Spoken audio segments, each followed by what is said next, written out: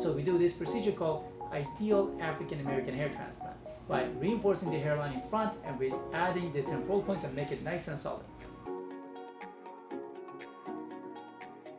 So what is an ideal hairline in an African American uh, person? Uh, African American men, African men are usually losing hair when they get a little low, uh, older on the front and temples. So the temples are not as solid, the front line is not as uh, you know solid, and they what they ideally like to have it youthful and uh, you know young looking with a more straight hairline with more angular temporal points.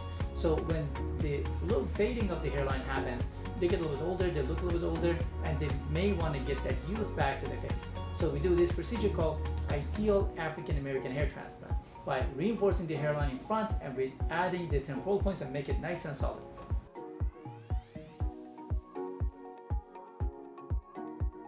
So this patient obviously is not a bald person. He's just somebody who's going through a maturation of hairline, maybe some thinning of hairline corner and temporal points going back, but it's not anyway close to something that you can call a bald person. But if the person want to have a nice and solid hairline, we can easily do that with uh, hair transplant, with FUE hair transplant. So this is the line you see, we try to make the hairline more of a straight line. In Caucasians, we always create that look, Caucasian looking like maturation of the hairline, bring the hairline a little bit higher. In African American, sometimes we keep it pretty straight. And then the temporal points, we want to make it nice and angled. And after procedure, it's going to be nice and solid. It looks very youthful on this patient.